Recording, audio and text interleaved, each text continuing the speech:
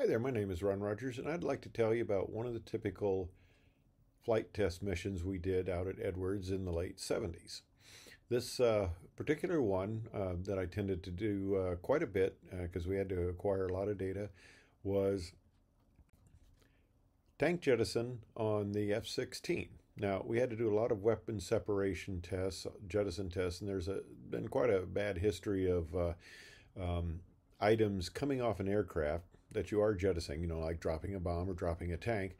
But there's been a lot of issues of uh, these uh, bombs or tanks actually impacting the aircraft after you jettison them. Now, most people think, and, and for normal speed, when you drop a tank uh, or a bomb or anything like that, it pretty much goes straight down under the aircraft.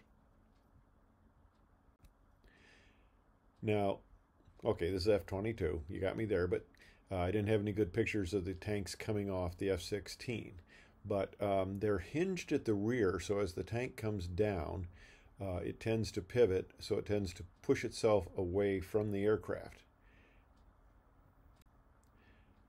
Now, the test we were doing uh, involved an asymmetrical jettison of a 675 gallon tank at 1.1 Mach, 675 knots. Now, I was flying the T 38 as in chase position, and I had a photographer in the back seat. And this was a, a I'd say, quite challenging mission because we had to do a descent uh, into the uh, range area, about a 30 degree uh, dive. Uh, then would do a, a, it ended up being about a 3G pull, and just after we pulled out, we would have to, uh, or the test aircraft would start a countdown and he'd give you basically a three, two, one, and then he'd jettison. Well, the interesting thing about this, and and and I flew this many times, um, was that when the tank came off, the F-16 actually rolled, and and the tank we were using was on the uh, left side of the aircraft, and that's my chase position on the left side, not like you see here on the right. I was on the left, and when the tank came off, the F-16 would roll 90 degrees on its side. And this had happened several times. And I finally asked the test pilot, I said, Are, are you um, doing anything special there? I mean, are, are you rolling for any reason? And he said, No, I'm trying to keep it level. But when that tank comes off at that high of an indicated airspeed, 675 knots, 1.1 Mach, the, it just pushes the aircraft 90 degrees uh, into a right bank. So that was quite interesting.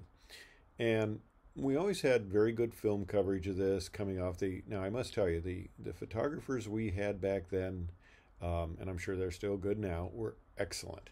Um, they would hold that 18 pound Hasselblad cam- Hasselblad camera uh, at 200 frames a second, and would do the little descent, and they'd just get a couple seconds to stabilize, and away the tank would go.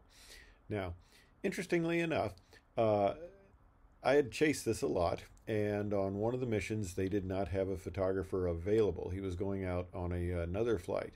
But we were down at test ops, and they said, Hey, you've flown this a lot. Um, we'll give you the camera, and you sit in the back seat, and you take it. And I go, Okay, how hard could it be? Well, uh, it wasn't too bad on the 30 degree uh, descent dive into the test point, but as we started to pull the 3Gs, that camera course got a little heavy.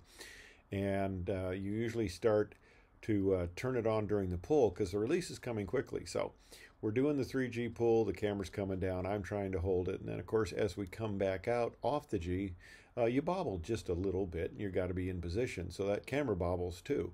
So I'm filming it and I'm going, oh my gosh, this isn't as easy as, uh, as I thought. And uh, I met the uh, photographers the next day and kind of said, "Well, did the uh, did the airplane pass through the frame anywhere uh, during my filming?" And they kind of laughed and said, uh, "Yeah, it was close." But uh, anyway, I got a lot more respect for them because because I would fly chase where we'd do uh, rolls over the vehicle, and they'd be shooting through the top of the canopy, and and the the pictures were just amazing. Now, one time we got back from the test mission, I got a call from the test pilot, and I knew that I knew the test pilot Dave pretty well, and he's a good guy. But he calls and he is angry. He says, "I had damage to my aircraft because after the uh, weapon separation, the the tank in this case, you come back up, you look the over the aircraft over, and make sure that uh, you know there's no damage on the aircraft." And I told him I didn't see any damage. So I'm thinking, oh my gosh, you know, what did I miss? So he says, you come on down here. I'm going to show you the damage to my aircraft that you missed. So I go down there, and and um, Dave had a very dry sense of humor, and uh, we're walking out the airplane, and we're getting closer and closer, and I'm on the side that uh, the tank uh, departed, and I am looking and looking, and I see nothing, and he walks up to the uh, stabilator there in the back, and he points his finger to this little nick in the stabilator that you could barely see from a foot away. I guess one of the instrumentation wires attached to the tank had come off and uh, cut into the uh, stabilator there. He's pointing at that. He looks at me and he starts laughing. I go, okay, good one, Dave. Anyway, flew that mission a lot. It was very interesting, a lot of fun. They got a lot of uh, test points there, and we showed that you could jettison uh, the tank at 675 knots, 1.1 Mach, and it would safely depart the aircraft. Thanks for watching.